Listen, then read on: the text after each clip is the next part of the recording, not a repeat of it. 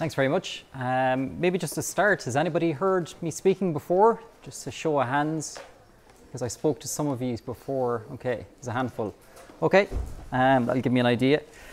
Right, so um, so the title of the talk is Biomedical Physics Accelerating the Fight Against Cancer. So it's quite a big topic. Um, I'm going to skip lots of it, um, but I'll try and give you a quick overview in kind of 20 minutes, and then I'll get kicked off, and we'll see how far we get. Okay, so to just give you an overview, um, just the first disclaimer, cancer is slightly complex. So there's kind of, I'm going to try and cover over 100 years of work very quickly in 15, 20 minutes. So I'm going to skip, I'm going to skip a lot of the past, but I'll refer you to a good book if you want to read about the past of kind of cancer and a biography of cancer. So I'm going to mainly focus on the present, some work that's happening in the present, and mainly the physics um, contributions, and also some of the future work and the role of physics in the future of kind of cancer treatment. Um, so some, I'll just mention some of the big challenges as well. Um, a lot of, actually, can everyone at the back hear me okay, or I switch on this mic here? Is everyone, can everyone hear me okay? Just wave at the back if you can't hear me and I'll switch this on. Um, so I'll mention some of the big challenges in medical imaging and some of the big milestones that have happened over the last 100 years as well, which are probably obvious to a lot of you from X-ray on. Um, and then some of the challenges in treating cancer. So obviously, we're probably all familiar. How many people in Ireland get cancer? One in three. So one in three of us are getting cancer, and the rates are going up. So, but the treatments are getting better. But it depends on what type of cancer you look at, because cancer is very complex. So if you look at prostate cancer, outcomes are very good, and have been improving all the time. But if you look at lung cancer, it's not so good. So every type of cancer is slightly different. So treatments sometimes, and same with imaging, imaging certain types of cancers can be quite difficult for different reasons. And one of the big reasons is motion, patient motion and organ motion. Okay, so we'll look at some two-dimensional and three-dimensional solutions, different technologies, or what they call imaging modalities. That's the way they tend to say it in the clinic, is different imaging modalities. Um, so the equipment, and there's lots of acronyms. So again, if you pick up or look at this stuff up on the internet, you'll see loads of acronyms. Things like EBRT, which is external beam radiotherapy. So your cancer is inside, you're beaming the radiation through the patient. That's the most common type of treatment for cancer patients. External beam radiotherapy, and generally it's photons, so high energy X-rays from outside the patient. But you can also insert radioactive material inside the patient and treat from the inside out. So there are research going on with alpha treatments and other types of treatments, gamma treatments, internal. So you inject the radiation inside the patient and treat the tumor from inside out. But external beam is a common one. About 60% of cancer patients around the world will get radiotherapy, and it tends to be external beam the majority of the time. Um, so the big challenge is this here. These are the two most important acronyms that you'll come across. Um, tumor TCP versus NTCP. So it's very simple. Kill the tumor, but don't kill the patient. And that's the challenge for physics, for chemistry, biology, clinicians, radiographers. This is the big problem. We can easily kill the tumor because what you do is you just dump in lots of radiation or lots, lots of chemicals, or you, what they used to do hundreds of years ago is you cut off half the patient. But then the problem is the patient dies. So if you put in too much radiation, the patient dies. Too much chemi chemicals, too much chemotherapy, the patient dies. Or too much surgical procedure, the patient dies. So again, if you look back in the history, for example, with breast cancer and things, what they would do to treat breast cancer 400 years ago or hundreds of years ago is they'd cut off the breast, but they'd also cut off the shoulder and the arm of the patient without anesthetics. Um, and that was, that was killing the tumor. So the tumor control was great hundreds of years ago, but the normal tissue complications were slightly uh, not quite optimum. Um, so this is the big challenge, and this trying to separate these two is the challenge for everybody: biologists, chemists, physicists, as I said, medics. Tumor control versus normal tissue damage. So how do we do that? And then the other big thing as well, because of cost, is to monitor response to therapy. So you're treating a cancer patient treatment might go on over several months or several years. You'll, you'll know people with cancer and their treatment goes on for, it can be going on for decades. You'll know people with breast cancer and they're taking drugs for decades. Um, so it's expensive. One treatment could cost $100,000 for one treatment or 100,000 euro. So it's very expensive. So you want to know, and again, physics is involved here, how well the patient responds. And can you detect that early? Because if it's not working, which you'll find a lot of the time, or some of the time, um, you want to change treatment early because the tumor is metastasizing and growing. So you want to catch it early. And the problem in the past was you didn't know the response early enough, so the tumors kept growing and you didn't change the treatment quick enough. But nowadays, what can happen if you've enough money is you can send your cells around to different labs and they can test different drugs on your cells and check the response in advance of your treatment nowadays, which is pretty interesting. So that's what's starting to happen now around the world. So it's what's called um, a new area of medicine called personalized medicine or precision medicine, or there's different names for it down here um, adaptive medicine, personalized medicine, or precision. So instead of what was happening up until a few years ago, what happened was you prostate cancer, you walk into the university hospital across the road, everybody gets 74 gray for their prostate treatment, 74 joules per kilogram. That's the treatment for everybody. But nowadays, what's happening is they say, okay, Mark, you've prostate cancer, um, but you're slightly different to the previous guy, so I'm going to give you a slightly different treatment. So it's precision or personalized medicine. So that's the future. And also, if I have time, um, this is the main text slide, so I'll speed up most of the rest is pictures, so that's why I'm spending um, quite a while on this one. Um, the future is also looking at, can you look at, say, for example, a mouse, and there's centres starting to pop up around the world now where they have full small animal radiotherapy centres. So they're doing entire treatments on a mouse and then looking at the outcomes and then translating that to patients. So they have all the imaging systems that exist for patients for your little mouse. They're slightly smaller because a mouse is about that size. So the imaging systems are designed to image that size, but the exact same systems, slightly bigger, exist for the patients and the treatments. They're testing, for example, you can use stem cells, you can use nanoparticles and different things tested on a mouse. If it works quite well, you try and translate it into patients. So that's kind of a bit of the future as well. So we get there hopefully at the end. And I'll mention cost because if I have time, everything is very expensive, as you'll know. As I said, treatments could be 100,000 per treatment. So the big thing is, can you make, can physics help to make treatments cheaper? Can you design new imaging systems? For example, can you use light-based imaging to make treatments easier, easier or cheaper? But the problem with light is it only travels so far into the patient. Um, so a lot of this stuff is quite expensive. For example, if you want a proton treatment, to set up a proton center costs between 100 and 200 million, and that's why the HSE doesn't have one. So, okay, so picture time. Oh, this is just to mention. So this is the situation we are in now, um, and this is kind of unfortunate. You probably heard about this in the media last summer. Five-year-old kid that was supposedly kidnapped by his parents because they didn't like the treatment he was getting in Southampton. If you heard this story in the media? taken to Spain, okay, so you know it. So taken to Spain, then he was taken to Prague and treated on a proton facility because the NHS doesn't have uh, a proton centre. They will do in the next uh, year or two. They're building one in London and building one in Manchester. But they took the kid out of hospital, he had a brain tumour, and brought him to Spain. Then they brought him to Prague, treated him.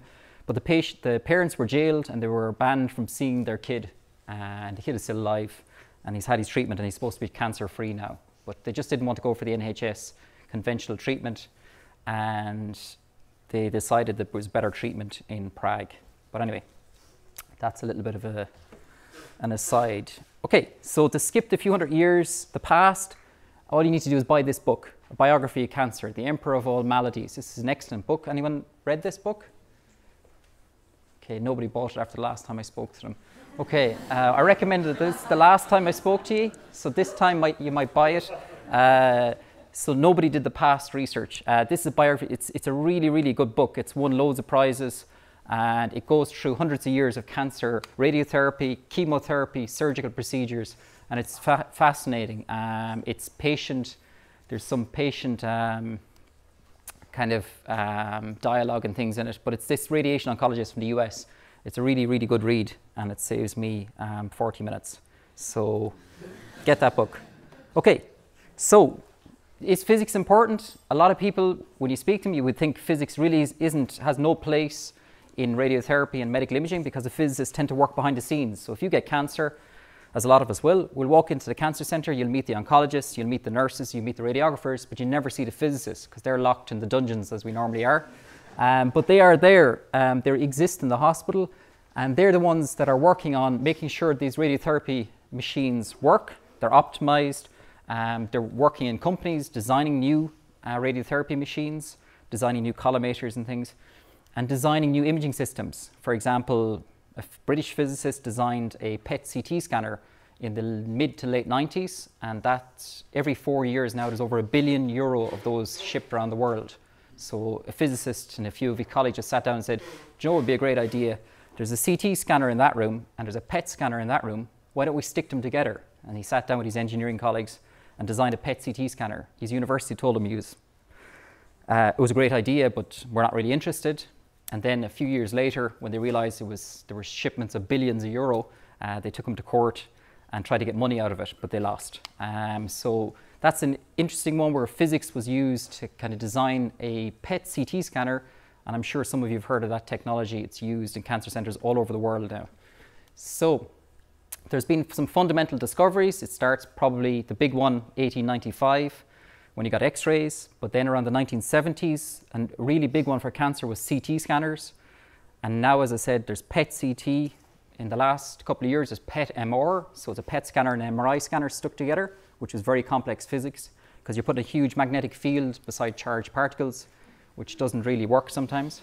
Um, and what they're working on now across Europe and the US is two different technologies. One is uh, SPECT MR, same problems, big magnet beside charged particles, doesn't really work, um, but they're going to do it. And there's also a, a linear accelerator with an MRI scanner. Again, this is a beam that's producing the radiation to treat the cancer, and you're putting an MRI scanner, attaching it onto it to image the patient while you're treating. Um, and this is something that's starting to hit clinics from 2017 on, which will change, I think, will change cancer treatment for us um, because MRI is not using radiation where CT is. So you can scan the patient constantly while you're treating them and monitor. The big problem with a patient is, for example, take a prostate cancer patient. Prostate, you take your CT scan. So let's just quickly draw it. Here's your prostate cancer patient. You take a CT scan, and there's the prostate, and you do that on day one. So this is what happens across the road. They scan the patient, and there's a prostate. That's great. But the problem is the, the treatment across the road goes on for five weeks. And what happens inside? If, you, um, if you're a physicist, you think your anatomy looks something like this. That's your bladder and your, that's your rectum. Well, your rectum is somewhere probably lower down there and hopefully a bit smaller than that. but uh, depends what you have for lunch. Um, but that's your bladder, your rectum. Let's, okay, let's not exaggerate. Your rectum is more central and it's over here somewhere. We'll translate it in there. But the problem here is this, all these move. So you, you go for your treatment, you drink, they tell them to drink 500 mils of water, the bladder expands, and this thing moves. But the imaging was done on day one. But what happens on week two when they're getting treatment? All the anatomy has changed, and you just knew where the prostate was on day one. So now you've, if you're putting a lethal dose of radiation, because we said it's external beam, so the photons are coming in here, hitting this target, but the target's gone, so your TCP, your tumor control, is dropping and your normal tissue damage is going up. And this is the big problem in cancer. So you need to know where that tumor is um, and it's moving. And the other problem is um, the patient comes in, for example, this is another, there's loads of problems, but one to mention, patient comes in for prostate cancer. Day one, how does he feel? He's really nervous. He clinches his buttocks and he raises, he's lying on a table like this. They clinch their but and they raise up off the table. So they actually, patients, if you look at them, or if you look at their scans, they tend to move up from where they originally were because they get so nervous to start. But after a few weeks, they kind of go, I'm going for treatment, and they relax, and all their anatomy changes again because they're just so used to it. And they go drinking the night before their treatment, and there's lots of gas in their rectum and stuff like that.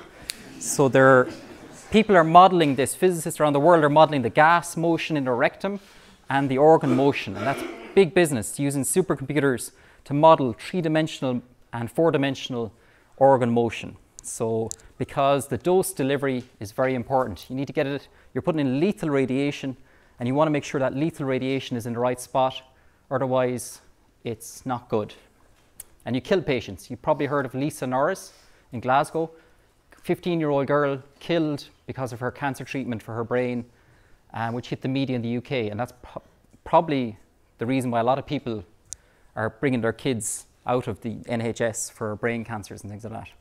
That's a famous example of um, a treatment that went wrong. So, planning the treatment is big business. It's a lot of computer science because it's modeling, a lot of physics, and you have to understand the chemistry and biology and things as well because anatomy doesn't really look like what I think it looks like. Um, the bladder changes, uh, your rectum changes and distends and different things, and that has a big impact on the patient. And imaging is very important, and you can see here why you can find out when you start imaging patients. You think a patient looks like this, but actually, when you image a patient, you actually see some really interesting things that you don't think about, like their anatomy changing because of how they feel. So you put on music, you put nice lighting in the treatment room, and you're trying to relax the patients. But what sometimes the patient actually pees during treatment, so they urinate and their bladder shrinks in size and things like that. Okay. How long have I let? Half an hour? Okay, I'll speed up. Pictures. Okay. So there's physics involved in immobilizing the patient. So laser beam alignment, so you can put tattoos on a patient and because they're lying on the table and are getting treated here, so you need to make sure they don't move. So literally you can align them with laser beams, laser beams and things like that in the room, but also um, designing thermoplastic masks and things to clamp their head to the table because if they move when they're nervous and things, the treatment goes wrong.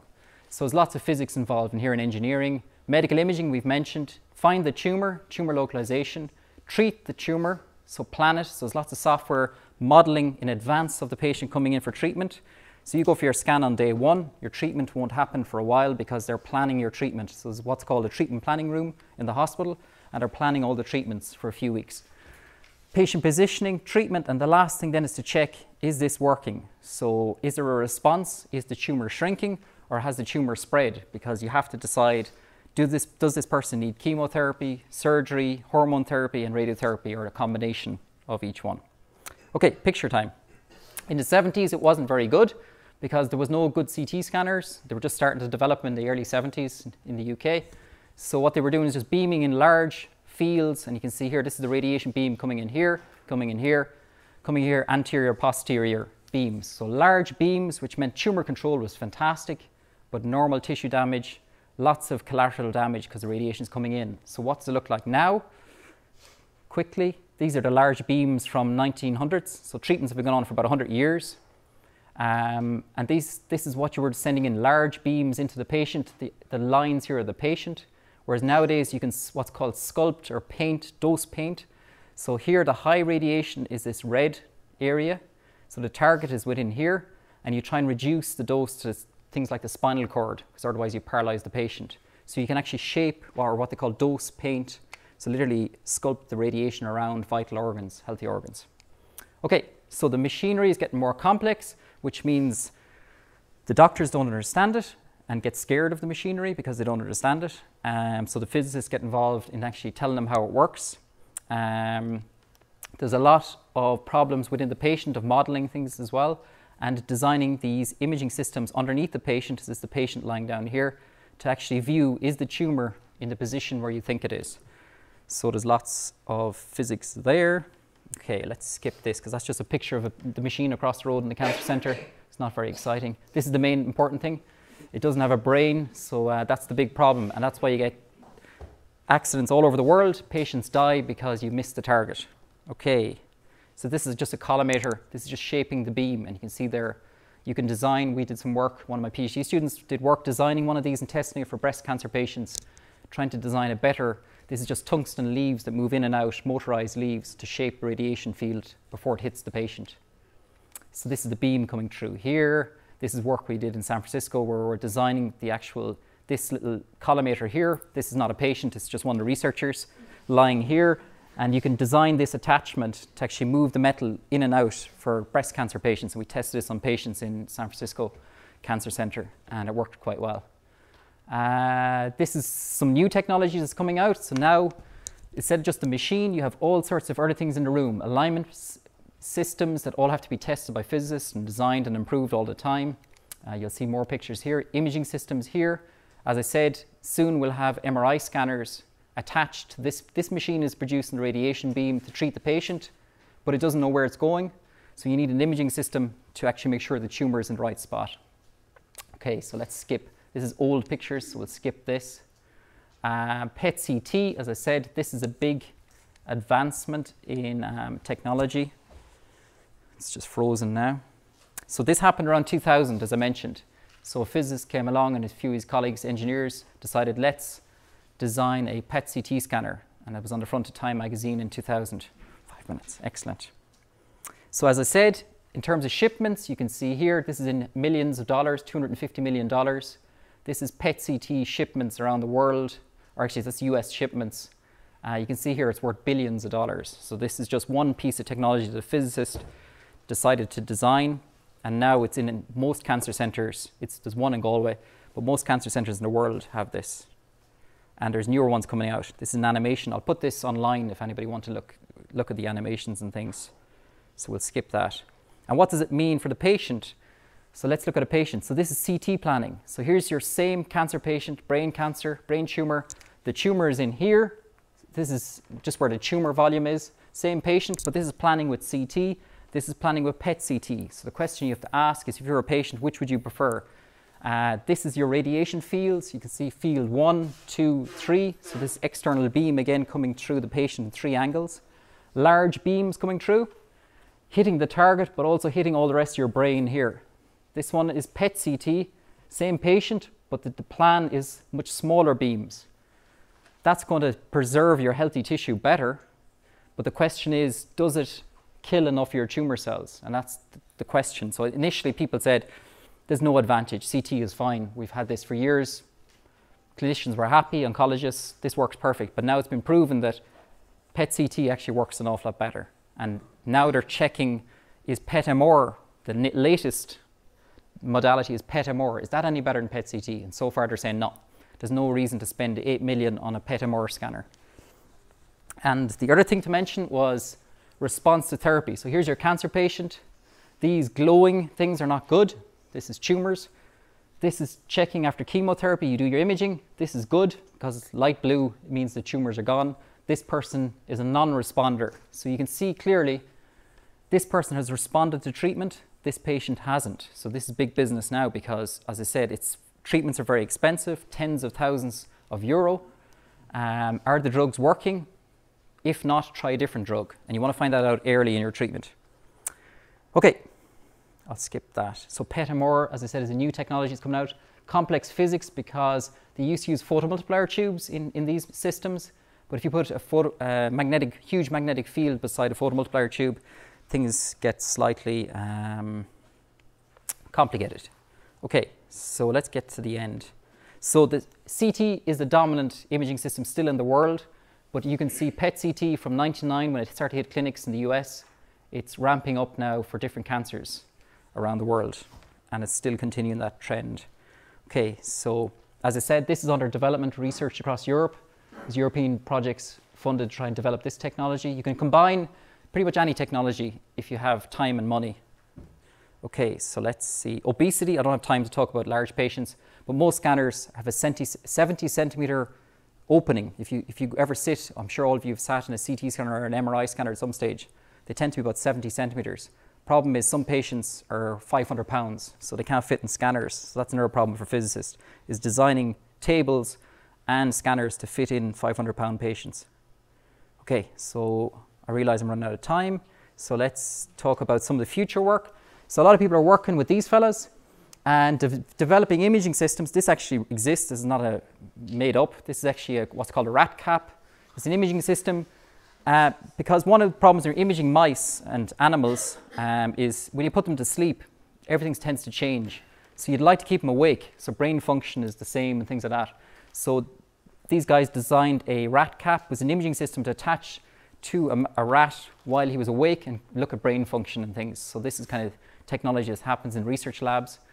And in Ireland now there's, as I said, small an animal imaging systems and radiotherapy systems that exist to actually test treatments on these fellas and then hopefully translate it into patients. Okay, so let's, so this is kind of where we're going. As I mentioned, testing things on cells, test your drugs on cells first, test that they work, check it preclinical on animals, and then go to clinical applications. Um, so molecular, it's kind of a field called biomedical imaging or molecular imaging. Okay, we're very near the end now. Um, so you're going from things that are reasonably large to designing imaging systems to image a mouse, which tends to be kind of typically that size, or a rat or a rabbit. Or some people in Ireland work with imaging systems for pigs, for stents um, in blood vessels. Okay, so it's multidisciplinary.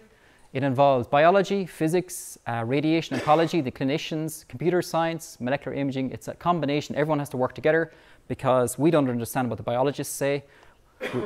That's, you can see that from that drawing of anatomy. Um, the clinicians don't understand what we say, so we go across the clinicians and say, We have this brilliant thing for you, try it out. It takes 15 years often for the physics technology to hit the clinics because the clinicians are afraid of it. They won't try it out, and there's hundreds of examples of that. Cost is a big issue, as I mentioned. Um, so you're trying to come up with new technology that's cheaper. Use nanotechnology. Can you use gold nanoparticles? Can you use light? Um, applications. The big problem with light is it only travels so deep, so you need to put the probe inside the patient, so it's invasive. And if you want to find out more, send uh, kids here to study physics. And one of the streams that we teach this stuff is in the biomedical physics stream. And I think I better stop because the caffeine is probably wearing off. So, has anybody got any questions? It was a quick fly through. I'll put these slides, I haven't given these slides to Mark yet, but I'll give those slides across and you can look at the animations and things.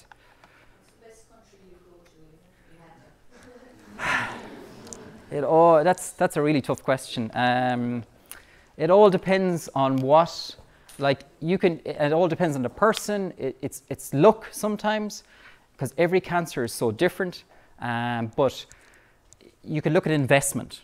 Investment in the HSE, investment in NHS, rubbish. Uh, relative to Singapore, relative to US, relative to Germany, you, you just have to look at the investment because we don't have protons. The UK have a proton centre outside Liverpool and Wirral, but they're not allowed to use it on patients. So they send 150 kids every year to the US and Europe if they think their brain tumour is worth it but it costs $100,000 per treatment. So you often hear of campaigns to send a kid to America and to, to, collect half a million to send them off because the treatments exist in the Mayo Clinic. So Mayo Clinic would be one of the famous ones in the US. Um, but having said that, you can go across the road with prostate cancer patients across the road most of the people with prostate cancer will die with prostate cancer. They won't die from prostate cancer. So if you have prostate cancer, don't go trying to collect 500,000 to go to the US because if you went across the road and got your treatment there for five weeks,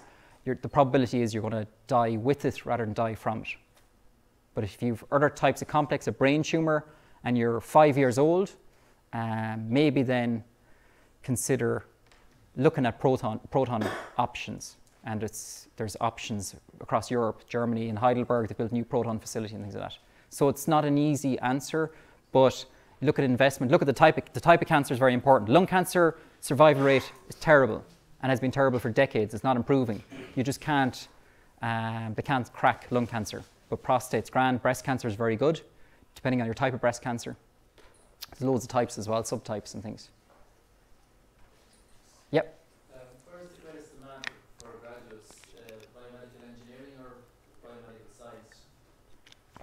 Where where do they go like or where? Well in Galway medical device industry is a big med, Boston Scientific Medtronic Johnson and Johnson. We've all the big medtech we have a huge medtech sector in Ireland. There's something like 35,000 employees in medical devices or something in Ireland. So Creganna Medical Devices Galway is a very good hub. Um, if they want to go the pharmaceutical route Cork has a lot of hubs you have the Pfizer's all those companies it all depends on what route there's also the companies that design these. So Siemens, some of our graduates have gone into Siemens, Varian, Elekta, um, or research routes into things like the one of my graduates that worked on the San Francisco breast cancer patients. He's in the Institute of Cancer Research in London now, and he's spent the last four years there doing um, looking at ultrasound imaging for liver and prostate patients. So there's different it all depends on what route the student wants to take often as well. So, uh, but medtech sector in Ireland is quite good, and then abroad, obviously, there's abroad there's big employers. So, any other questions? Yep. What's, John. what are the big cost drivers on the likes of um, proton treatments? Is it, is it It's like the- all planning and everything? it's or the- is it the it's- actual- It's everything. The technology is huge and it's very complex. Uh, generally, it's how complex it is to design. X-ray machine, you could design that in your shed at home. You just need an electron beam and a target. Anyone could design it. So it's cheap. You can buy an X-ray machine for a few hundred euro. Uh, if you want to buy, build a proton accelerator, it's not as cheap. So if you want to design, say, if you want to make your own radioisotopes, you need a cyclotron, which costs about $10 million. Uh, so it all depends on the complexity of the machine and then how long it took the company to design it. Same with drugs. If it took them 15 years to design it, even though the drug might cost them a euro, they'll charge you 100,000 for it because it's the components mightn't be that expensive, but it took them 15 years to develop it and they have the patents, so they're going to charge you whatever they want for it within reason. So it's often the drug, how long it took. So a lot of physics technology might have taken 15 years to get to the clinic, and then the scanners sell for one to eight million. The most expensive scanners at the moment are eight million for a PET MR. Uh, it's about one million for a PET CT. And same for your animal. If you want to get an animal, uh, we looked to try and get a SPECT CT scanner for animal imaging. It's about one million euro for your little mouse. So it's quite expensive even for a scanner to scan something that size. So we just design our own ones. It's cheaper to get a PhD student to do it. so yeah. Cheers. Yeah.